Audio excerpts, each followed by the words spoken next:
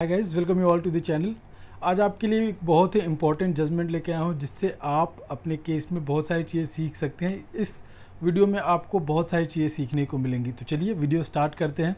Video start करने से पहले I would like to request अगर आपने अभी तक चैनल को सब्सक्राइब नहीं किया तो please subscribe the channel and video को लाइक और शेयर करना ना भूलें बिकॉज़ हम आपके लिए ऑलमोस्ट एवरी डे कुछ नया जजमेंट कुछ नया लीगल अपडेट्स लेके आते हैं सो so दैट आप अपने लीगल नॉलेज को इम्प्रूव कर सके और अपने केस में आप हेल्प ले सकें।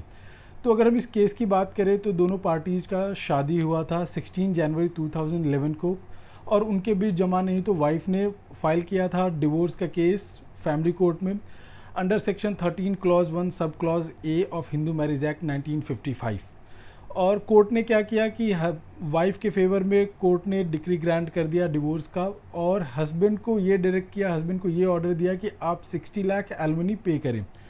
तो जनरली होता क्या है कि जब आपको कोई डिक्री मिलता है, आपके फेवर में कोई डिक्री मिलता है तो आपको एग्जीक्यूशन फ़ाइल करना पड़ता है। लोग सोचते हैं कि अगर मैंने कोई केस फ़ाइल किया है तो और केस का अगर डिक्री मेरे फेवर में आ गया है तो सब कुछ हो गया, नहीं।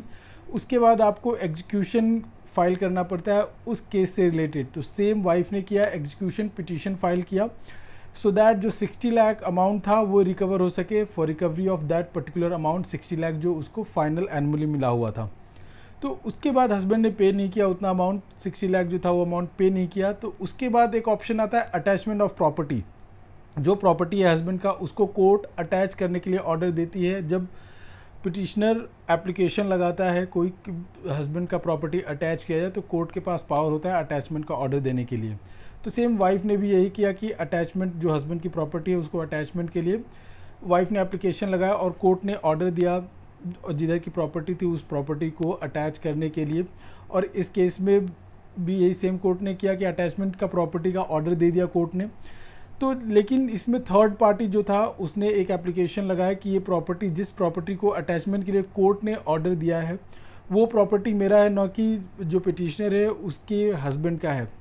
तो कोर्ट ने ये देखते हुए कोर्ट ने इस बात को कंसीडर किया कि जो वाइफ ने फ़ाइल किया है, वो सही नहीं है। और वाइफ उस प्रॉपर्टी पे क्लेम नहीं कर सकती बिकॉज़ वो प्रॉपर्टी हस्बैंड का नहीं था और जो ऑब्जेक्शन वाइफ ने लगाई थी, ये सारी चीज़ें डिसमिस कर दिया। और सेम डेट में ही कोर्ट ने, जो बालाचूर सिविल कोर्ट था, उसने ये भी ऑर्डर दिया कि जो प्रॉपर्टी है, वो हस्बैंड की नहीं है, वो किसी और की है और जो फ़ाइल आया था, पंचकुला से, वो पंचकुला में अगेन फ़ाइल भेज दिया गया। देखिए, होता क्या है कि अगर सपोज़ दिल्ली के दिल्ली के साकेत डिस्ट्रिक्ट में अगर कोई एग्जीक्यूशन लगा है और जो प्रॉपर्टी हस्बैंड का करकरडुमा कोर्ट के जुरिस्डिक्शन में आता है तो प्रॉपर्टी का जो एग्जीक्यूशन का मैटर है, वो साकेत कोर्ट भेज देगा करकरडुमा कोर्ट में। और वो जो कोर्ट है, वो एग्जीक्यूट करेगी, अगर जैसे कि अटैचमेंट का ऑर्डर है तो वो अटैच कराएगी कोर्ट और फिर उसके बाद जो भी पैसे का रिकवर करना होगा, वो रिकवर होगा। तो सेम ऐसे ही हुआ था। तो इसमें ये हुआ कि अगेन पंचकुला कोर्ट में फाइल्स पूरा भेज दिया गया। तो वाइफ जाती है कोर्ट कोर्ट के अगेंस्ट जो लोअर कोर्ट है उसके ऑर्डर के अगेंस्ट वाइ, वाइफ अप्रोच करती है हाई कोर्ट को Punjab and Haryana high court को। और ये बोलती है कि जो डिस्ट्रिक्ट कोर्ट ने ऑर्डर दिया था उसमें एरर है बट जो हाई कोर्ट था उसने ये बोला कि जो प्रॉपर्टी का डिटेल वाइफ ने दिया है वो प्रॉपर्टी हस्बैंड का नहीं है। हस्बैंड इंडिया में नहीं है हस्बैंड इंडिया में कोई भी प्रॉपर्टी होल्ड नहीं करता। अगर इन फ्यूचर हस्बैंड कोई भी प्रॉपर्टी इंडिया में होल्ड करता है तो wife on the change of circumstances again execution application file कर सकती है। कोर्ट ने कहा कि दूसरे की प्रॉपर्टी अटैच नहीं कर सकती कोर्ट और ये भी बोला कि जो प्रॉपर्टी का डिटेल दिया है वाइफ ने, उससे हस्बैंड का हस्बैंड का कोई लिंक नहीं है। तो wife in future is free to file execution fresh execution petition क्योंकि हस्बैंड जो था यूके में चला गया था और हस्बैंड ने कोई इसमें एलमनी पे नहीं किया था।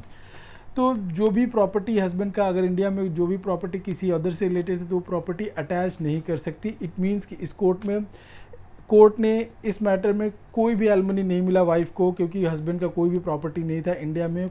उसका कोई भी नहीं था प्रॉपर्टी चाहे वो पंचकुला में हो या फिर किसी अदर स्टेट में या डिस्ट्रिक्ट में कोई प्रॉपर्टी नहीं था।